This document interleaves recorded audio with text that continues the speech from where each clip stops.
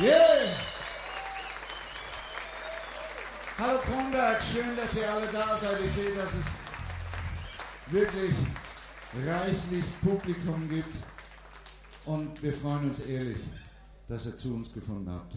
Und wünschen euch noch viel Spaß heute mit uns. Wir werden äh, eine kleine Pause irgendwann dazwischen machen, um uns zu erfrischen. In unserem Alter braucht man das. Also wir duschen nicht, also es dauert nicht so lange. Wir kommen dann wieder leicht stinkend auf die Bühne, das ist überhaupt kein Problem für uns. Äh, wir spielen erstmal ein paar Sachen nur von Pete Hartz.